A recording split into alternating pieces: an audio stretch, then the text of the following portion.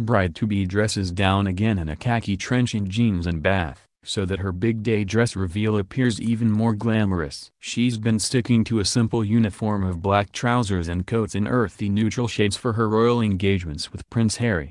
And it seems that Meghan's understated dress code could be a deliberate strategy to ensure her big wedding dress reveal has even more wow factor on 19th May. The bride-to-be stepped out with Harry today to watch Invictus Games hopefuls training in Bath wearing a low-key khaki trench coat from Canadian brand Aritzia and bootcut mother jeans. Celebrity stylist and designer Lucas Armitage told FEMAIL, it not uncommon for brides-to-be to play things low-key in the run-up to the big day. With her usually high-fashion game showing signs of wavering, even more anticipation is building for the wedding. However, Meghan made one concession to glamour by wearing heels. Whilst most may opt for flats in a sporting outing Meghan can't be without her beloved court shoes, Lucas said. I feel a flat show would have been a more suitable option for this occasion. Flats are having a moment right now and I'd love to see Meghan tap into this. So far, Meghan has resisted the temptation to go full princess style, eschewing the prim-shift dresses and nude heels beloved of fellow royals such as the Duchess of Cambridge. Instead, she has curated a wardrobe of smart casuals including tailored trousers and blouses in neutral colors, which she teams with understated coats.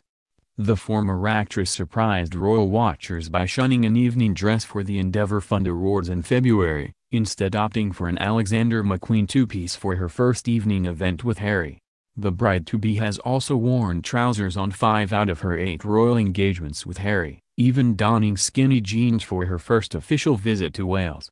Today the couple are joining Invictus Games hopefuls as they try out on the athletics track and field, before meeting those taking part in the indoor sitting volleyball trials. The UK team trials are being run by Help for Heroes, with support from the Ministry of Defence, the Royal British Legion and the Endeavour Fund, and will be hosted at the University of Bath over four days.